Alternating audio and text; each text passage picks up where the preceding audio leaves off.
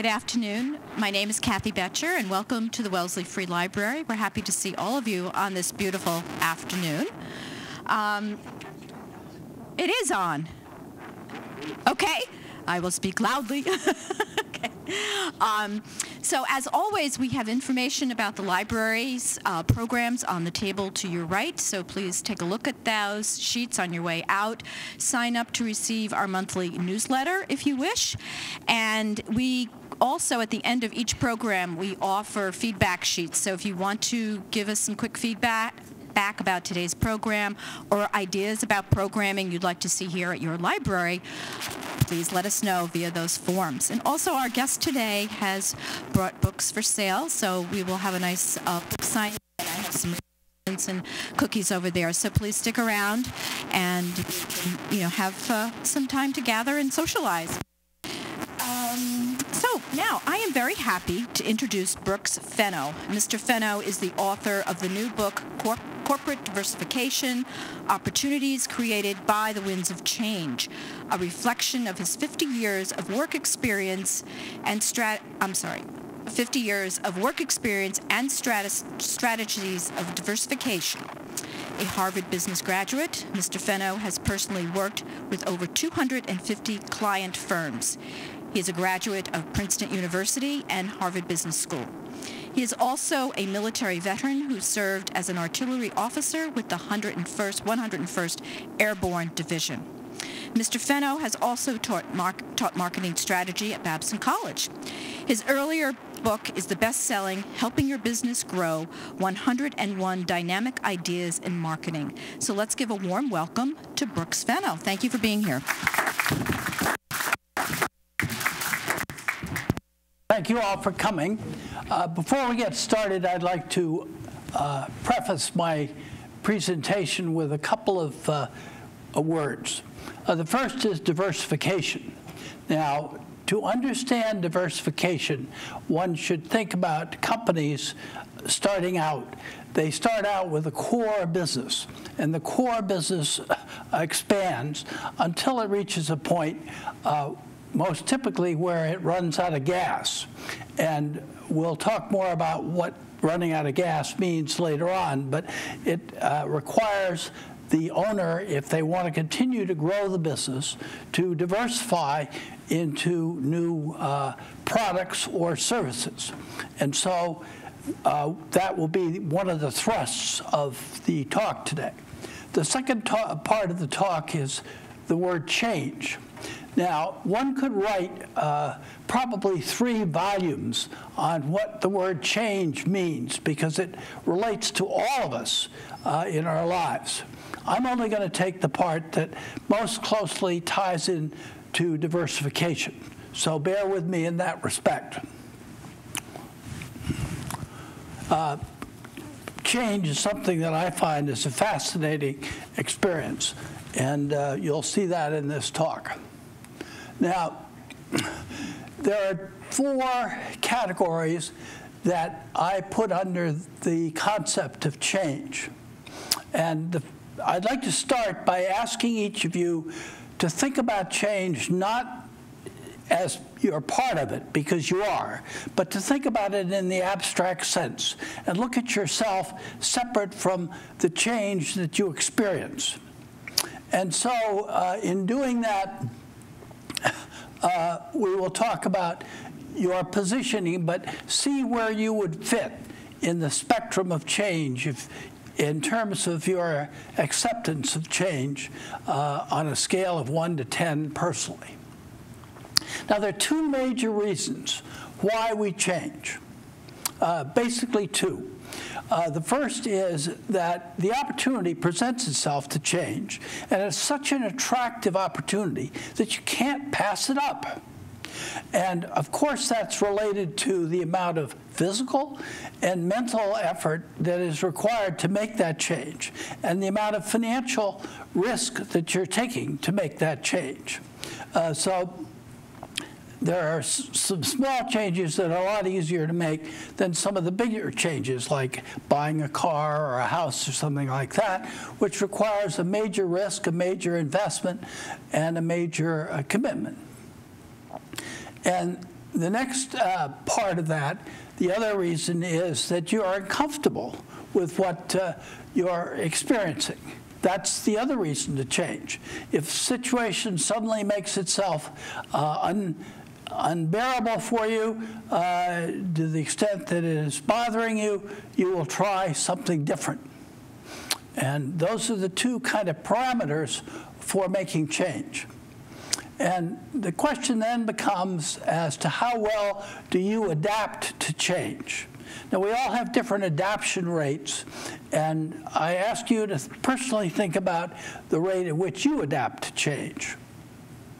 Now, keep in mind, and this is one of my favorite analogies, the floating platform perspective. And that means that if you picture yourself as a polar bear, either male or female, floating on an ice floe, and you're looking around on that ice floe and you don't see any change at all because the ice floe appears to you to be constant. But actually, the ice floe is in the middle of an ice flow itself, and it's flowing with the current or tides if it's loose, and it's flowing with the, uh, with the water stream.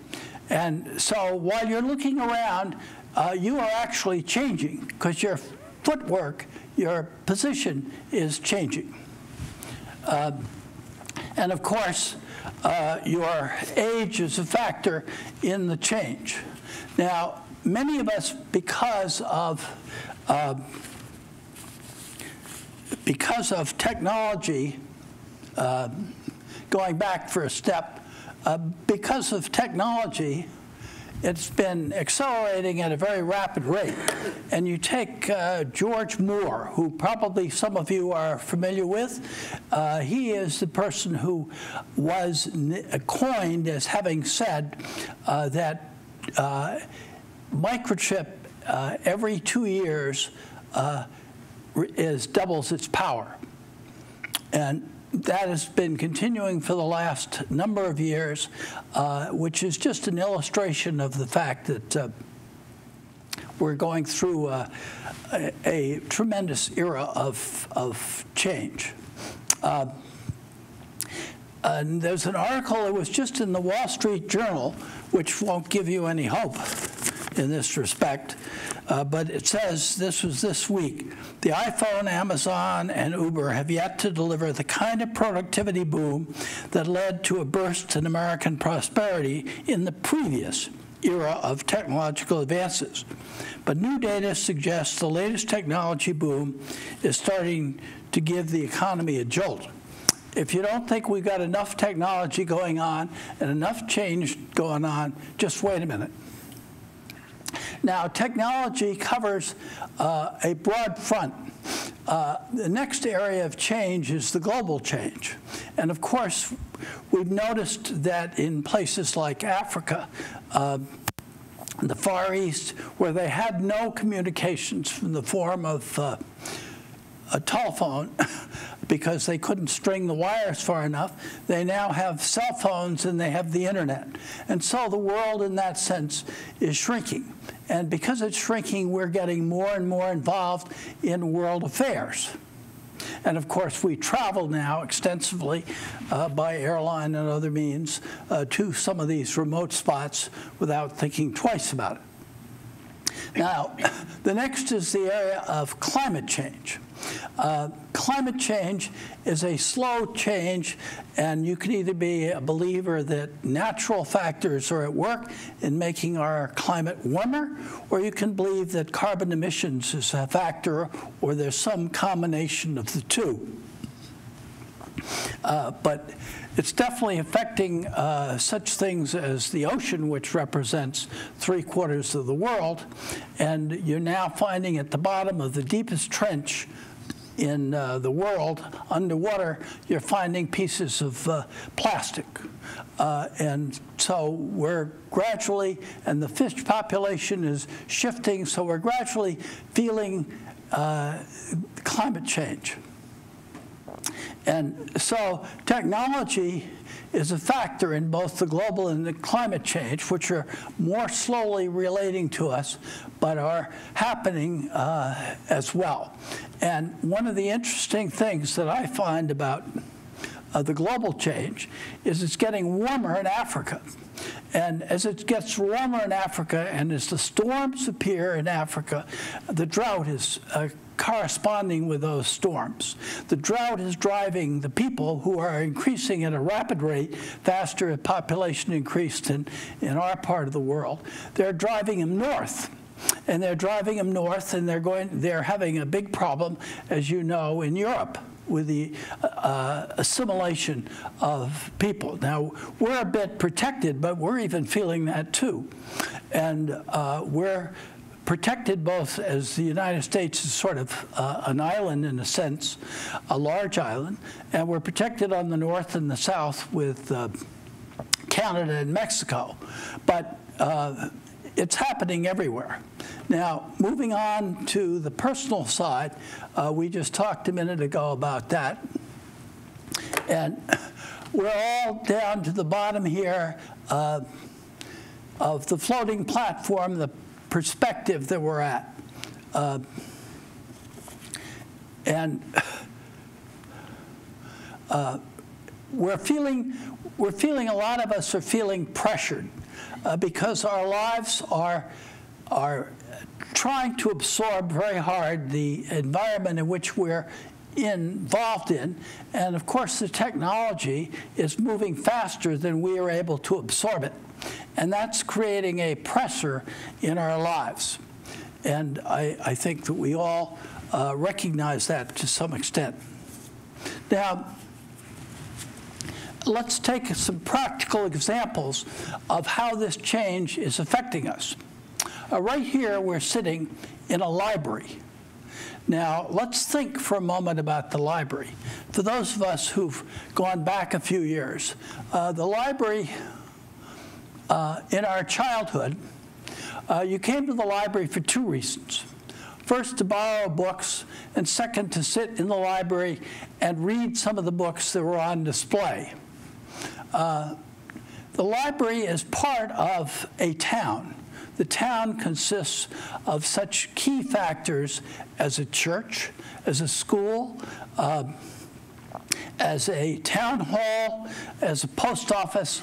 Those are kind of go with the town. Uh, what we're experiencing here is a, an edifice that is not going to change physically, but it needs to change to adapt to uh, what its requirements are. And uh, the library has evolved into a community and cultural center. And there are a number of resources that it offers besides the books, uh, uh, and they're listed there. Uh, one of those is a meeting facility. You have this talk that uh, I'm involved in right now.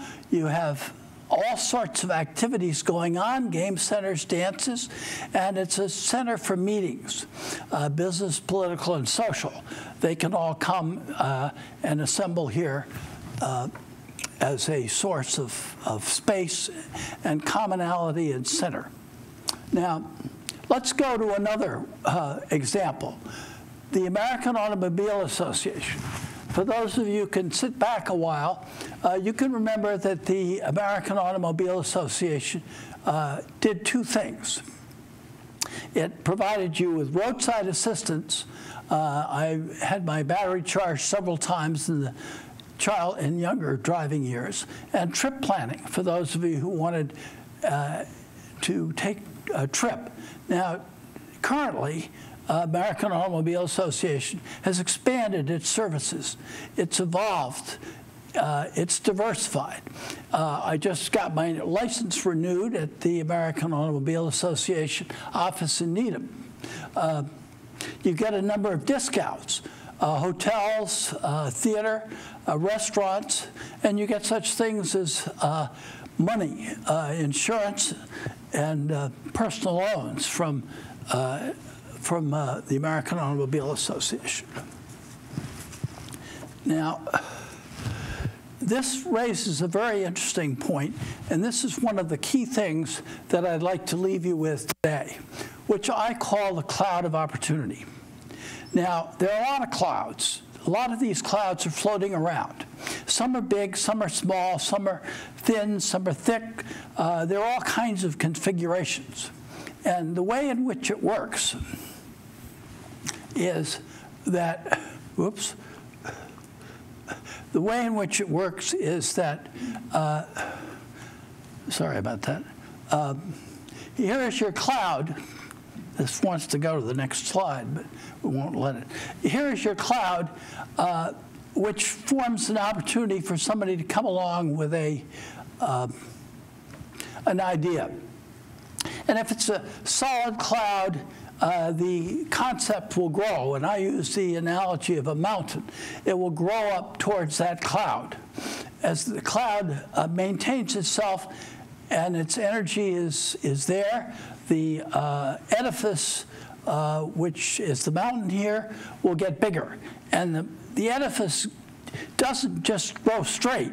It gains layers. It gains layers of management as it grows.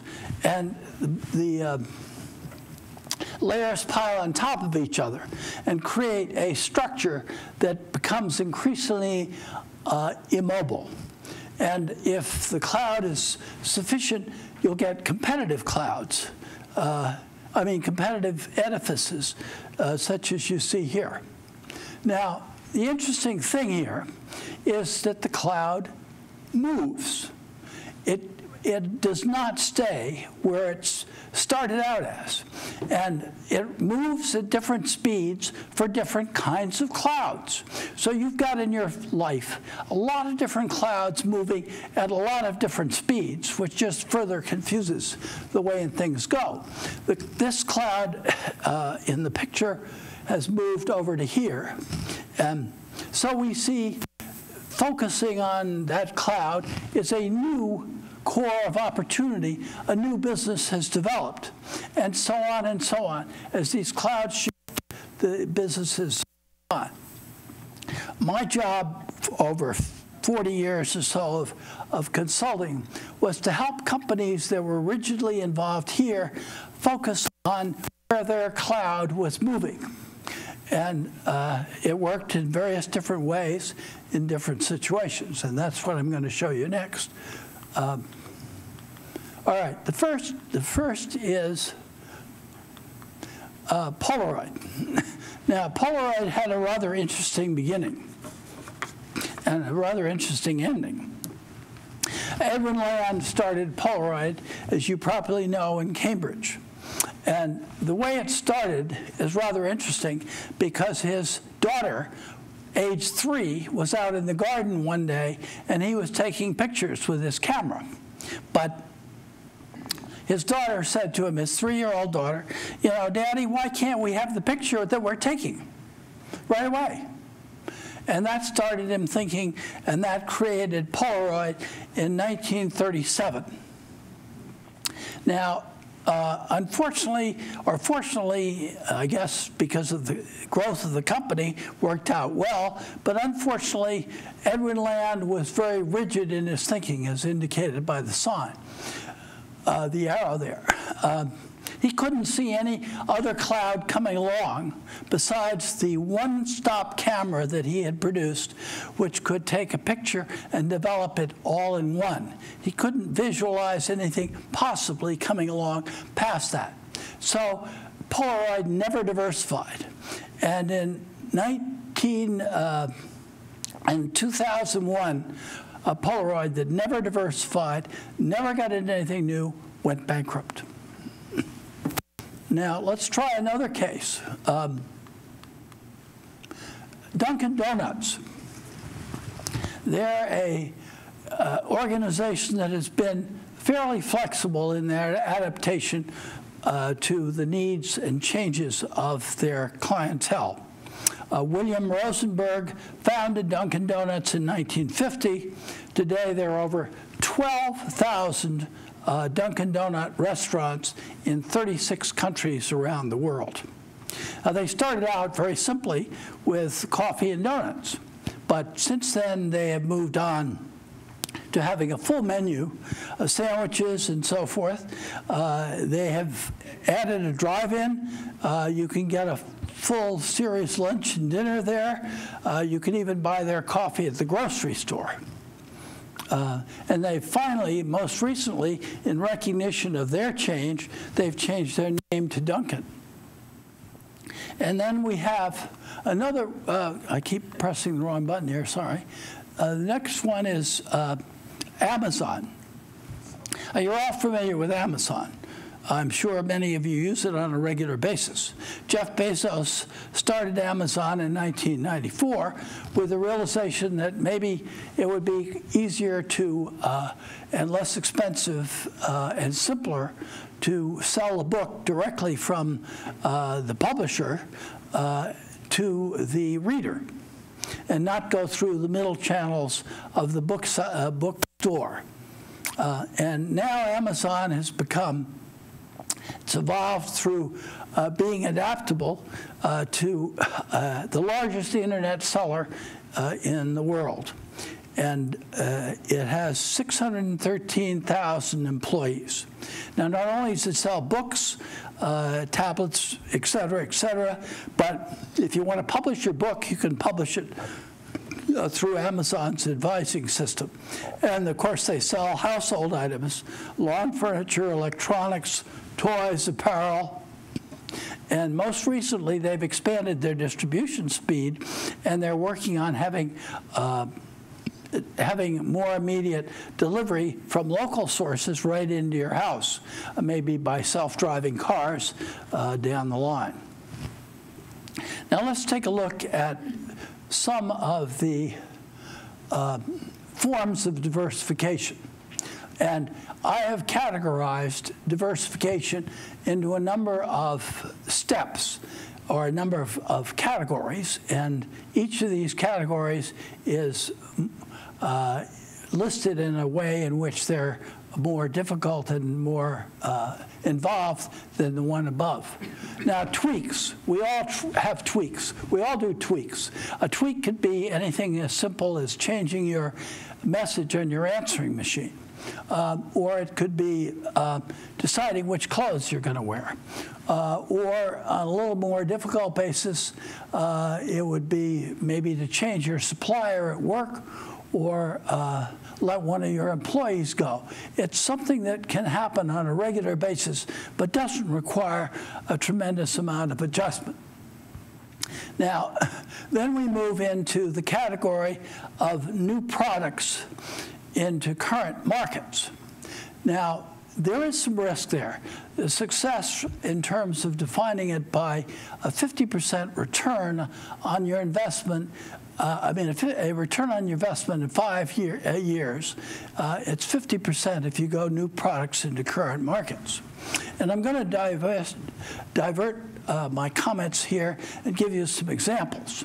Uh, one of the projects that I worked on a number of years ago, uh, if you think back to when you were a child and you looked at a lobster trap, it was all made of wood. And so I had the opportunity, I was engaged by a company that made steel uh, lobster traps, wire lobster traps.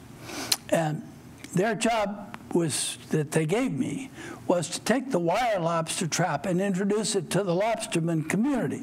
Now you can't picture a group any more reticent to change than a, lobsterman. So I, I uh, I forgot whether I bribed them. I got a couple of lobstermen along the coast of Maine to try the new metal lobster traps. The other lobstermen poo-pooed the whole idea. They said lobsters will never come into a metal trap. They like wood. So uh, we tried it. At the end of the year, uh, the lobstermen brought up their uh, metal traps, the ones that did, and they piled them next to their house and they went on and did their thing. Meanwhile, the other lobstermen who had the wooden traps, and you can have up to a thousand traps, the wooden trap people went home. They had to take their traps apart, repair them, put in all new uh, wood slats and so forth, uh, which was a good month or two's worth of work. Next year, uh, the following year, um, there was a, they were a little bit more uh, accepting, and we got a half a dozen lobstermen to try the metal traps. Again, the other ones were very suspicious of the whole process. And by the third year, everybody was using a metal trap, and you won't find any wooden traps anymore anywhere. um, so the reason that uh, uh, that new product going into a current market is that you understand the market and hopefully have an inroad into the market uh, and some reputation involved. It didn't happen in that case, but it was uh, it was an example of of going after a current market with a new product. the next is new markets, current products. Now, there's only a 25% chance of success if you take a new market into a current product.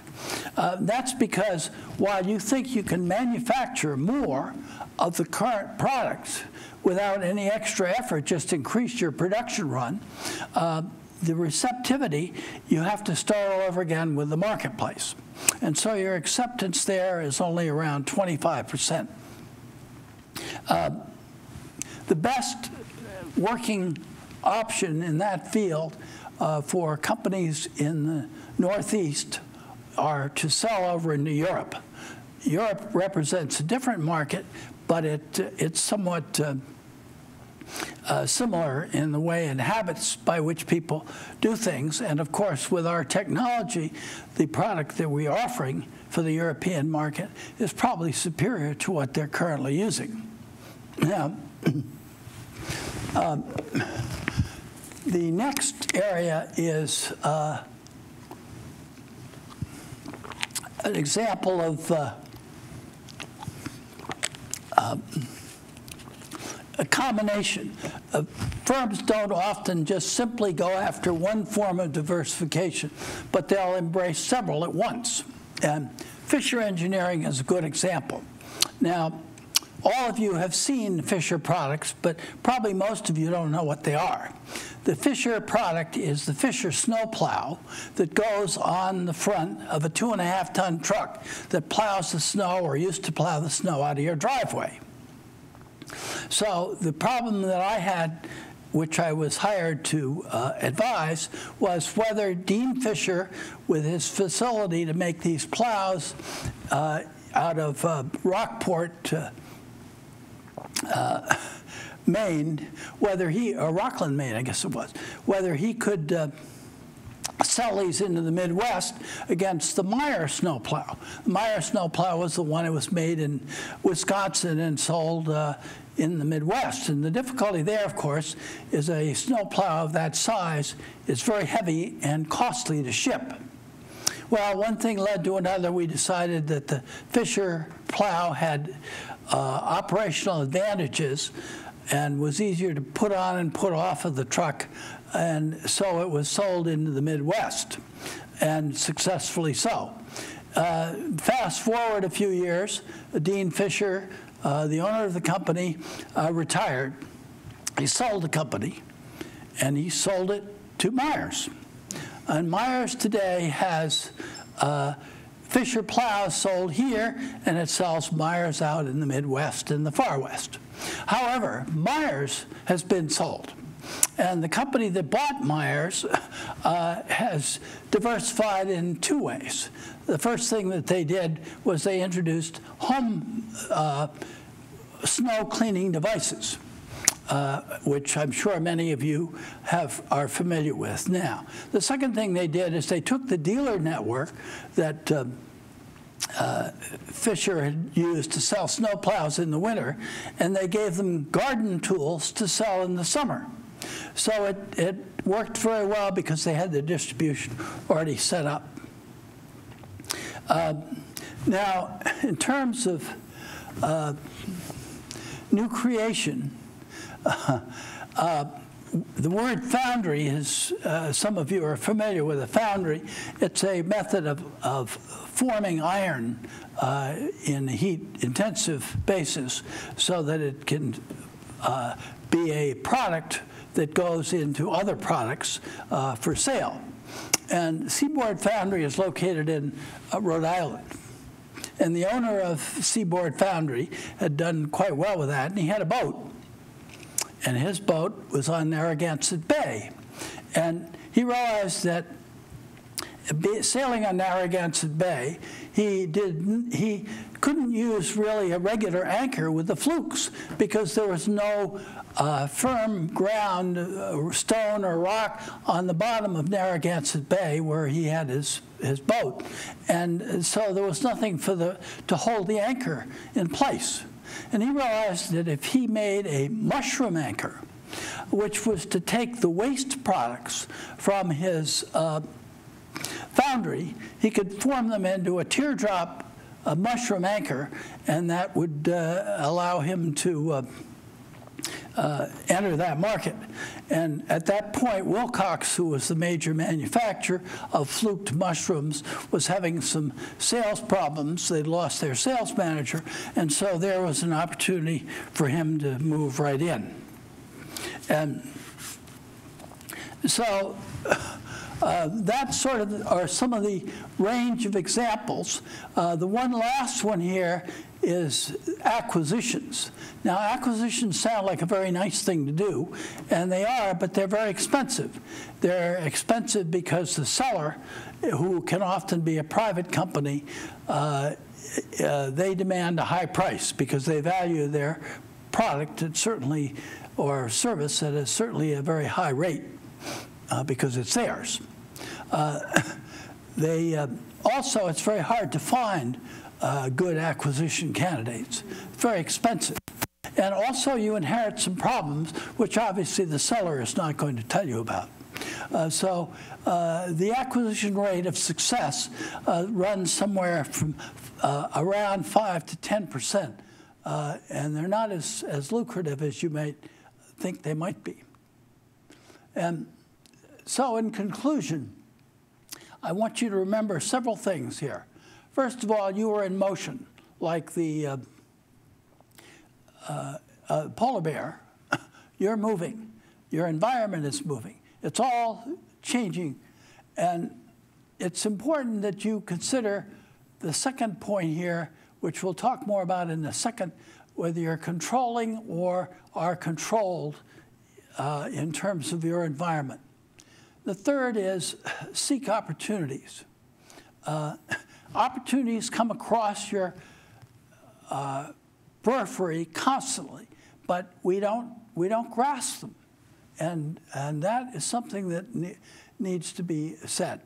And be receptive. Now, my wife here, uh, she, uh, she believes in saying yes to every opportunity that is presented sometimes it doesn't work, but most of the time it does.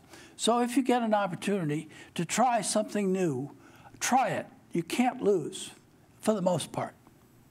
And uh, so uh, initiate the action or be on the receiving end of the action.